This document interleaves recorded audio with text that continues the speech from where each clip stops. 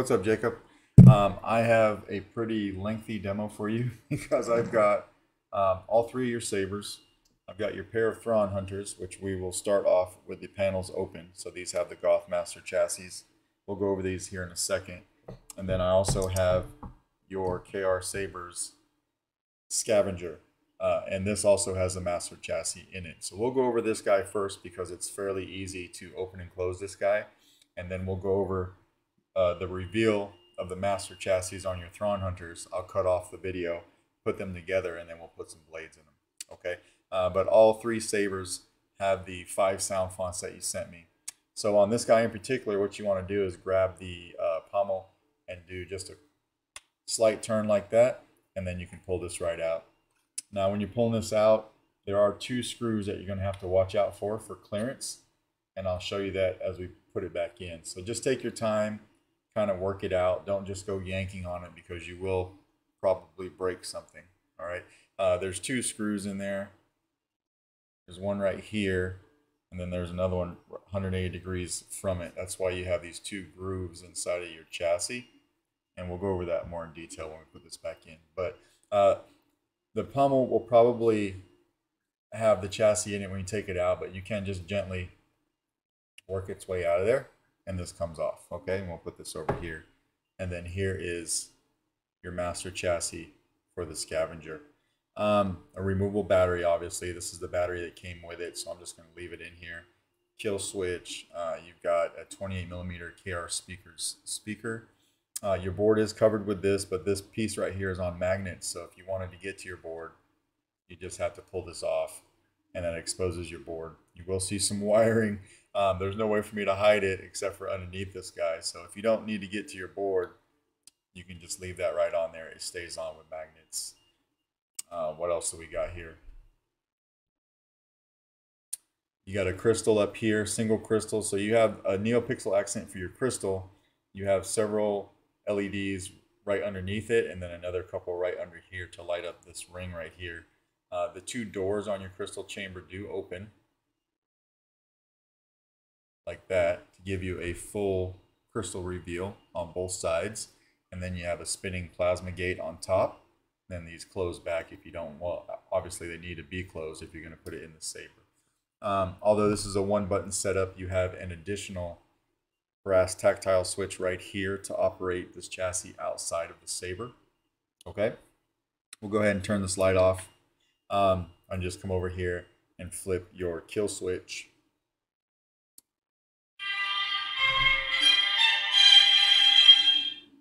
Um, we'll hit power. You can see that plasma gate spinning there.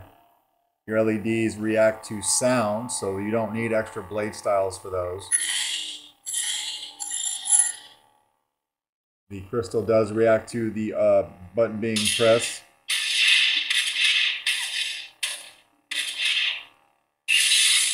Blade lock up.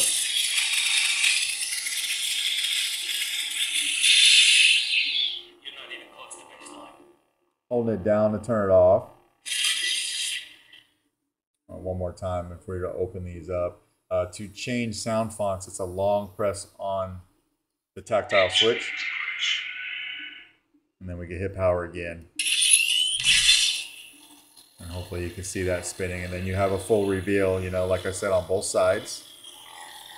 We'll turn it back off. Close these gates up and then we'll put it in the saber. Okay, we'll turn the light back on. Now, when putting it in the saber, you do have to pay attention to your channels right here in your chassis, and then the two screws on the pommel, right? So they have to, it has to go in a certain way, and because it goes in a certain way, it has to come out that way too. So if you don't have that lined up properly, it's not going to come all the way out of the saber. But once you get it in there, you could kind of feel it bounce on those on, on those pin connectors up here, and that's how you know you got it in all the way, right? So we'll take the pommel piece, slide it on,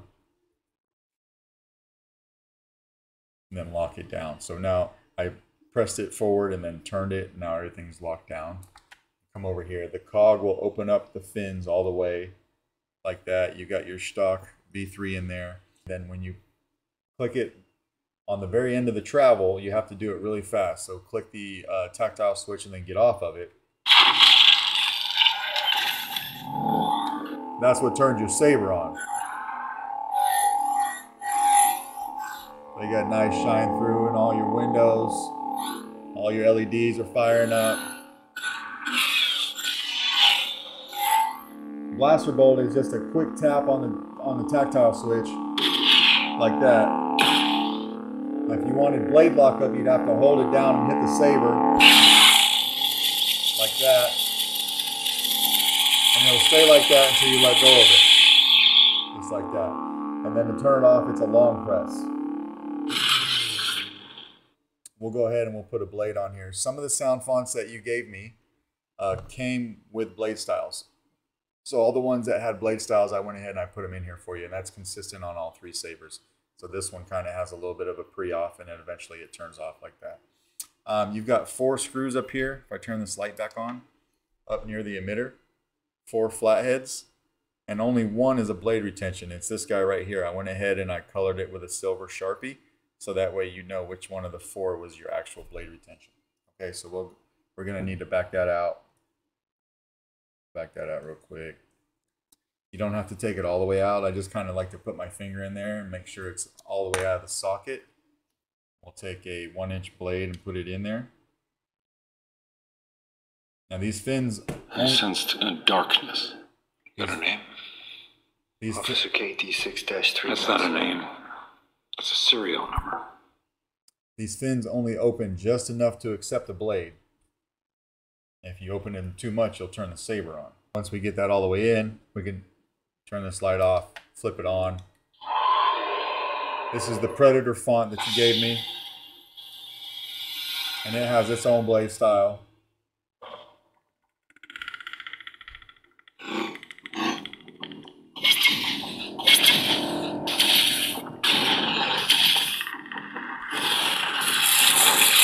Blade lock up. It moves up and down the blade depending on how you hold the saber. And then hold it to turn it off. We'll go to another one. Now it's a long press on the act, uh, on the tactile switch when the saber is off. I sensed a darkness. You go to another sound font.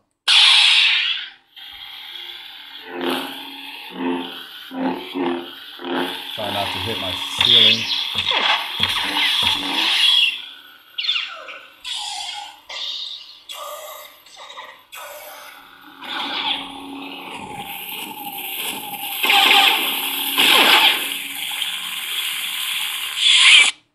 Another one.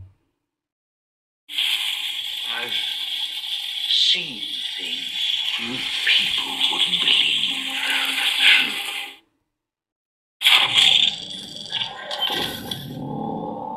This one also had its own blade style. So yeah, everything's working nice on this guy, nice and solid.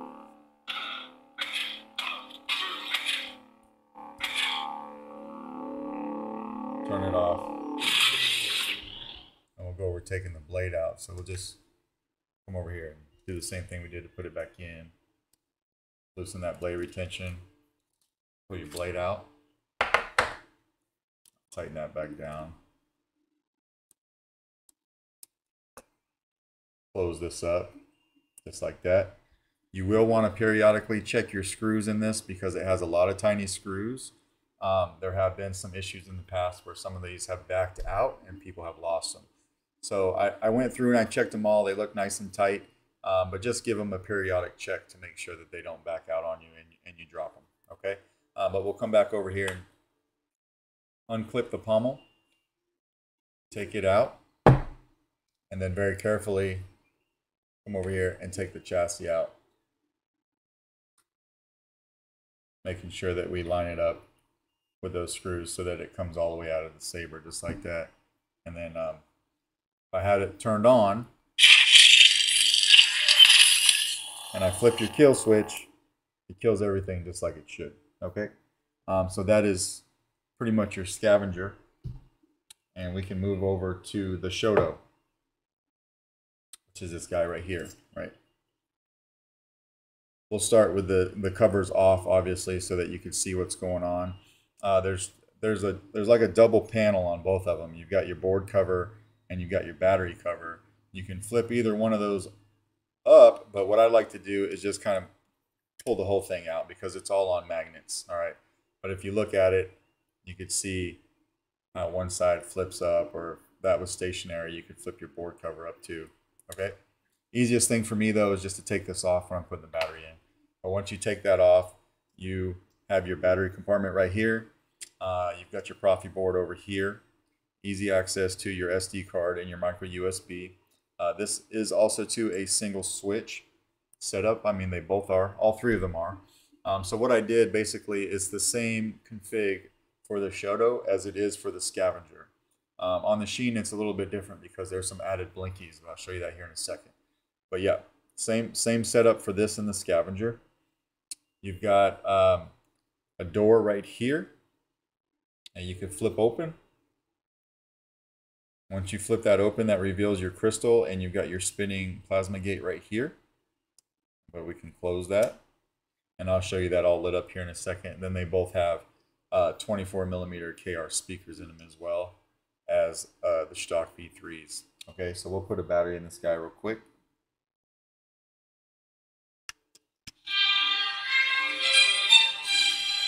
We'll go ahead and we'll put the uh, cover back on. It finds its home. It's nice and, and tidy because it's on magnets. So as you can see, I've got this pulsing as well as I did on the scavenger. Now these are on a timer, so if you don't turn it on right away, they will time out for you. If we come over here and turn it on, and I open up that door, and you can see your plasma gate spinning there too, right? And it does react to blaster bolt deflex. And then we can come over here, flip that closed, but it will still spin, right? And then again, hold it down and turn it off. And we'll take the battery out of this guy.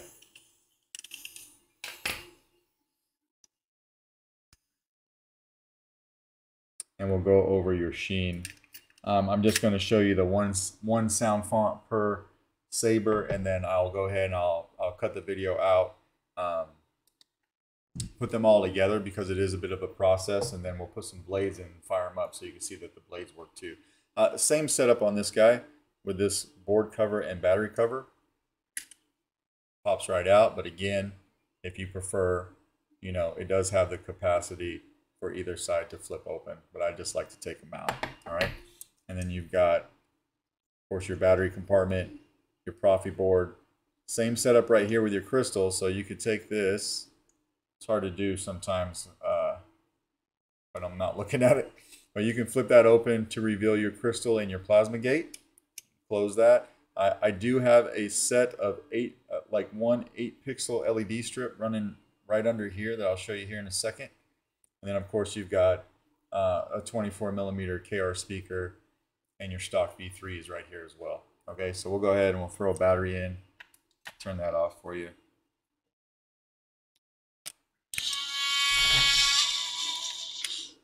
Throw on our cover. And you can see how I've got it doing a little something right here. Your crystal will pulse right, until we turn it on. Now I got this doing a little something. And then um, you, you can again come over here and flip your door open. I know that crystal's super bright, so it's hard to see, but maybe you could see like kind of right, right uh, where my finger's at. Your plasma gate is spinning there as well. Kind of easier to see it there. And then your stock V3 is right here close that and then hold it to turn it off.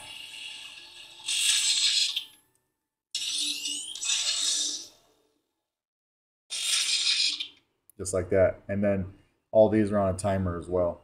Um, so before I cut the video off and put this together, let me take the, well, I'll, I'll leave the battery in. This guy was a beast for me. Uh, just a lot of troubleshooting. I'm not really, um, I don't have to troubleshoot a Saber as often like I did with this guy. Uh, I was first having some issues where I turned the font on. there was no hums or swings, but it was registering like blaster bolts. So I spent uh, last night troubleshooting that, and all this morning, there it just timed out. I finally got all that fixed. Um, I was in the middle of making this demo, and my LED strip right here, uh, two of the LEDs went out. So um, all the resistors on that strip I've got insulated, but there was one, or actually two, sorry, there was two on the very end that I, I did not insulate and it touched the metal and it blew those two LEDs. So I had to take this apart during this demo and replace that LED strip. Um, this guy has just been such a beast, but it, it's all together now. It's working well. So what I'm going to do is um, I'm going to go put these together and I'll be right back. Okay, so I've got all these back together. We've got this one on and this one on. We'll go over the long one first. Um, in order to take these panels off, what you have to do is first take this guy out, then come over here and take this small one out and this pommel will come off and then you can pop your panel off just like that, okay? Um, and that's the same for both of them. It's pretty consistent. So what you want to do if you want to put a blade in here, you'll get two of these in your box. Just take this and screw it on. My ally is the Force. Screw it on, and that allows you to put a blade in and actually have some blade depth. So we'll put a uh, one inch NeoPixel blade in here and lock it down.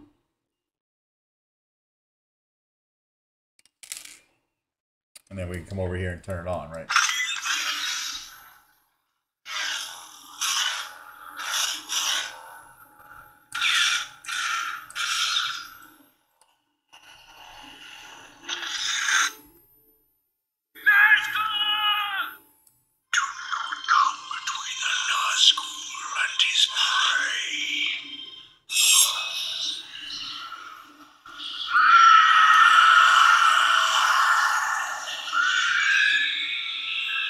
Blade lock up.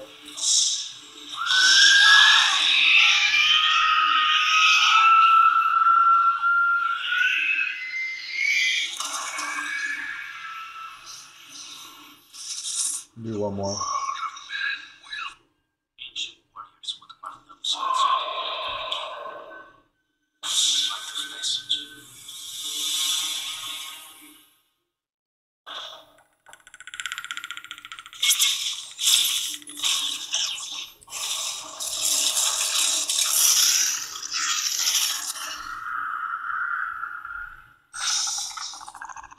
So that one's working like it should, right? And we'll go ahead and we'll take the blade out of this one. Um, I'm going to use the same blade holder because it doesn't matter which saber you use them for, and I just left your other one all wrapped up. So we'll go ahead and we'll take this guy off. We'll put it in the shorty. You will find uh, copies of the config files that I used on all the SD cards, all three sabers, right? We'll put this one in and lock it down.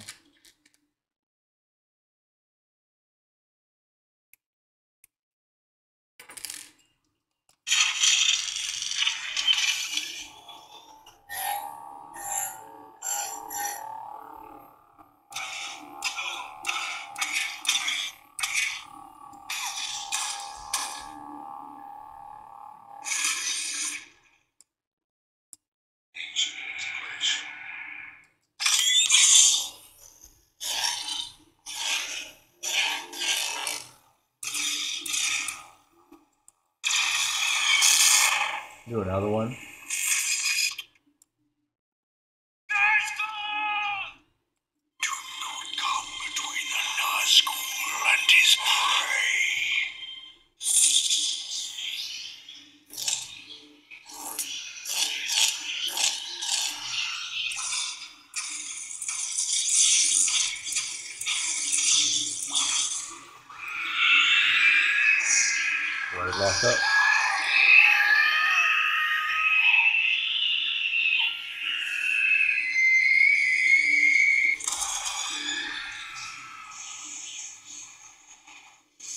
Just like that. And yeah, so this one's working great too. All all three of them are working like they should now. Worked out all the kinks, um, and that's basically your Thrawn hunters and You're scavenger. Um, I'm gonna take these. I'm gonna break these down off camera and send the batteries outside of the sabers. Uh, let me know if you got any questions, and if not, I will ship these out to you uh, tomorrow. All right. Thanks.